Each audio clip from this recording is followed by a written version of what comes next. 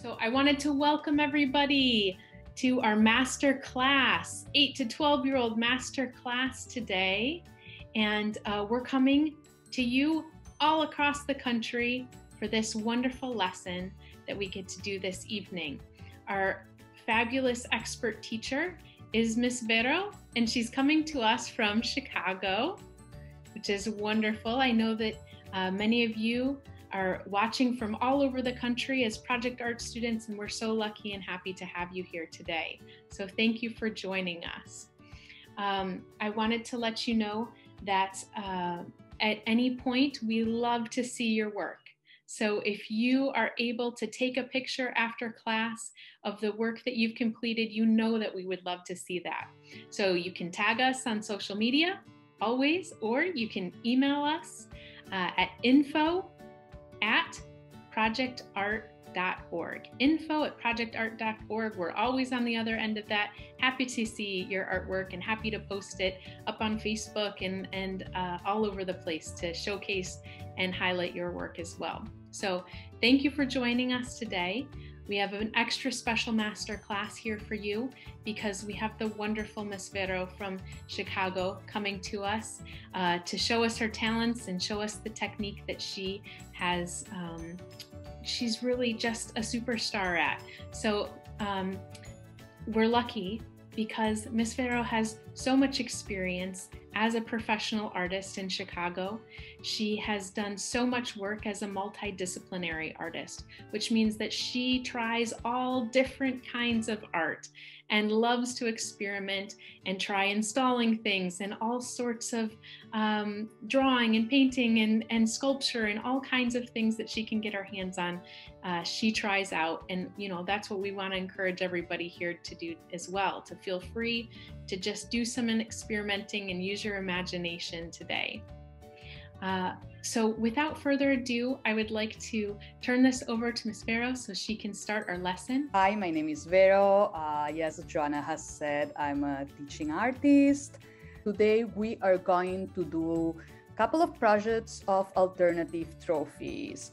Trophies are objects like little sculpture general plates that they uh, you win by accomplishing something or being in a competition. But uh, generally it's for doing there's when they're giving away trophies only one person or two people get them. So i think that why don't we do trophies or make trophies not just for competitions but just for things that we like or for people that we love say our parents or grandparents or best friends or um, pets or for ourselves because we have been doing a, a great job, especially during these last two years.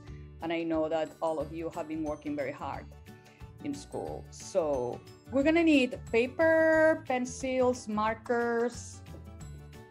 Have also these just to show. This is from.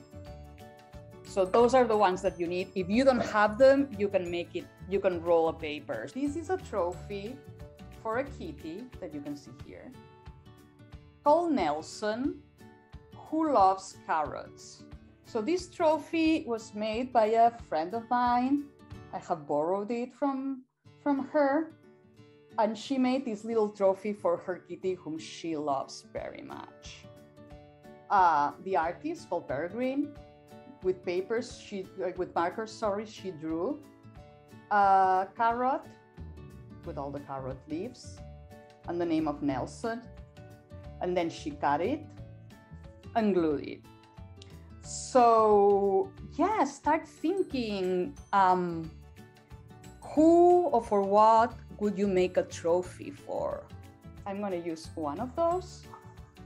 So does uh, everybody know who or for what they want to make the trophy for? It can be for your pet, it can be for your best friend, it can be for spring, spring is around the corner. It can be for yourself because you did great in a test, or maybe you didn't do that great, but still you put the effort. So that's the important thing. So, you know. So let's start. I am going myself to make a trophy for the spring because I'm very excited for the spring.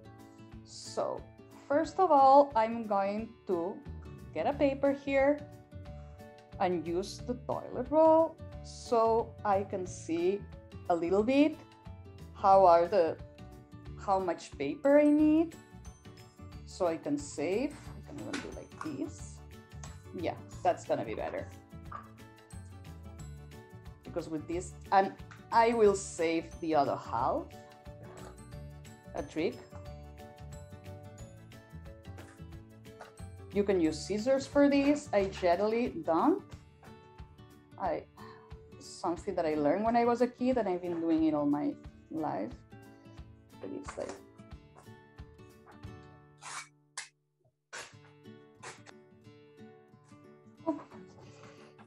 So now I'm going to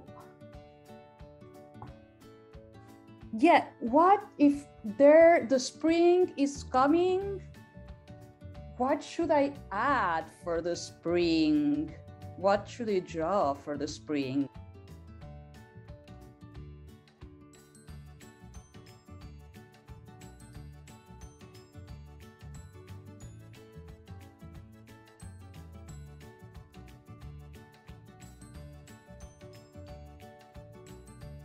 we're gonna be doing this and um,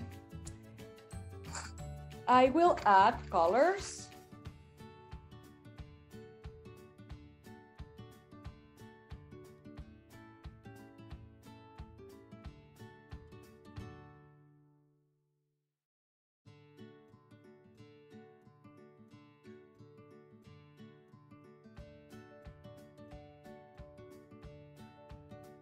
So we know what we're doing. I'm gonna, I will jump to the next part. So we get a little bit the idea of what we're doing. So we know, I want to go a little bit. I'm gonna get here my scissors. I'm gonna find, no, those are good scissors.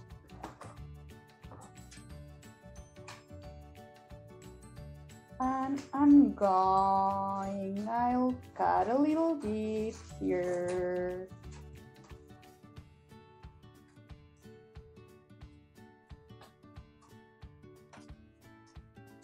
Then I can add the colors because I want to glue it. Okay, so I'm going to try, um, I will actually use two of them. So yeah. So what I will do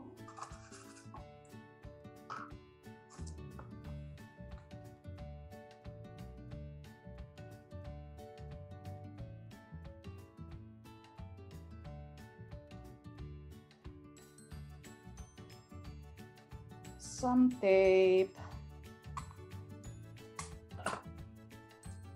Also, if you don't have glue but you have tape, you can tape it.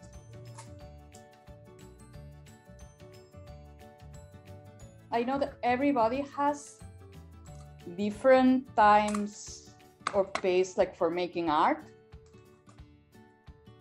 Have a, two good friends. One of them, no, they're based both of them in New York. Okay, I'm going to glue this as you see. You can use one or you can use two. One of them, mm. this very good friend that we studied together, Nugent, when we were studying together, he would be making, I don't know, it, it looked like if he was making an artwork a week. And then this other good friend that also studied with us, Gabe, he would make one or two artworks a year.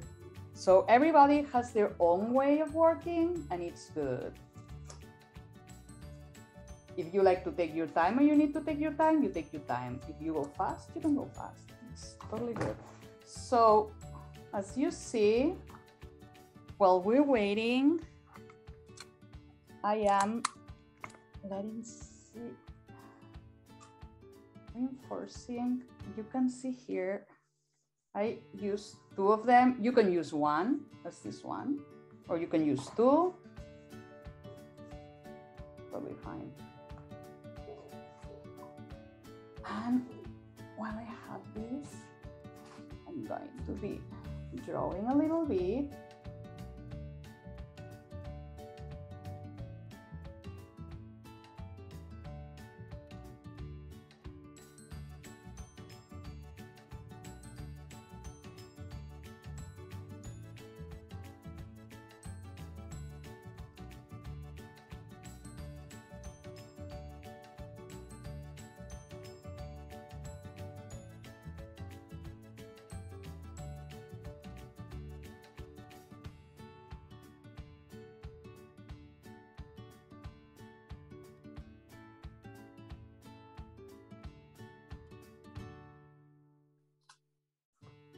So I'm letting these at the moment dry.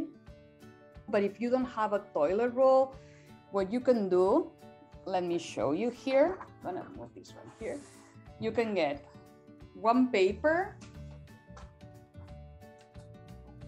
and roll the paper. And then you can either here glue it or tape it and boom, you already have it. And if you want to make it, say, like thicker, you can make it thicker. So if you have a paper with you, you can use the paper and uh, a little bit of glue. I have some glue here. So what you can do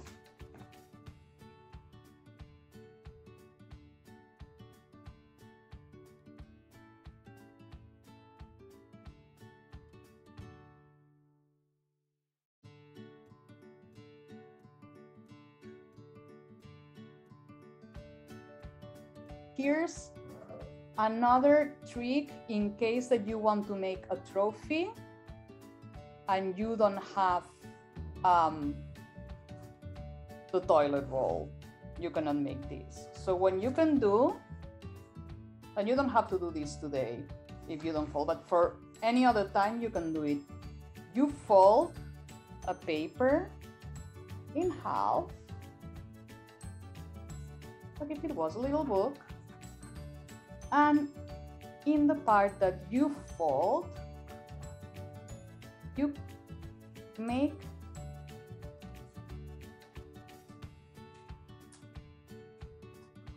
these these little flaps. And what you're going to use this I'm going to show you these now is that you're going to place them like this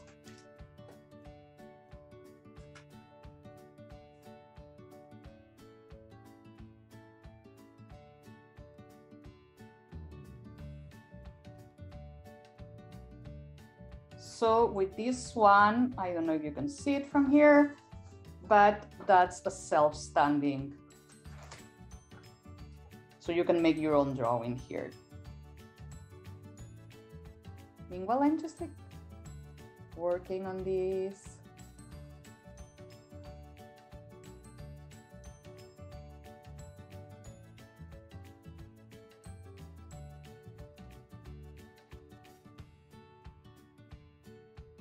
Thank you. If you can uh, take a picture of your trophy when you have finished and email it to info.projectart.org or your local program director. I just wanted to say thank you all so much. Thank you, everybody. Uh, and this can be something that maybe you share uh, with your friends.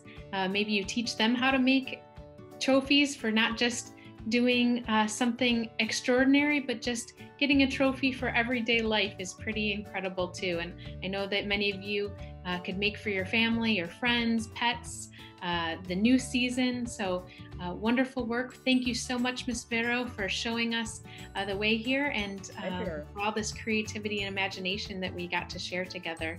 Thank you, everyone.